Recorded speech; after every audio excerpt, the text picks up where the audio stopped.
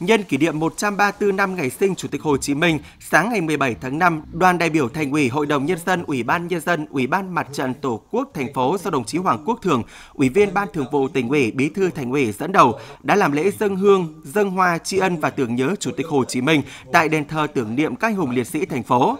Tại đây, các đồng chí lãnh đạo thành phố và các đại biểu đã thành kính dâng hương dâng hoa, tưởng nhớ, bày tỏ lòng kính yêu vô hạn với Chủ tịch Hồ Chí Minh, đồng thời bày tỏ lòng tri ân sâu sắc đối với các hùng liệt sĩ đã hy sinh cho nền độc lập tự do của Tổ quốc vì cuộc sống thanh bình của nhân dân.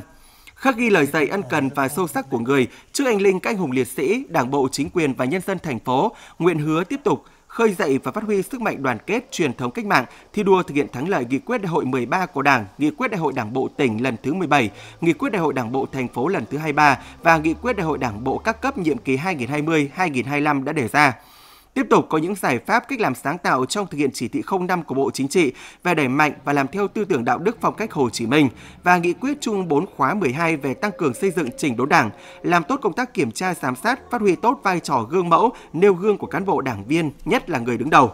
Đảng bộ, chính quyền và nhân dân thành phố tiếp tục thực hiện tốt di trúc và những lời căn dặn của người, nguyện mãi mãi trung thành với lý tưởng và con đường xã hội chủ nghĩa mà Đảng và Bắc Hồ đã lựa chọn, đưa Chí Linh ngày càng phát triển nhanh chóng và toàn diện, góp phần cùng Hải Dương và cả nước đẩy mạnh sự nghiệp công nghiệp hóa, hiện đại hóa vì mục tiêu dân giàu, nước mạnh, dân chủ, công bằng, văn minh.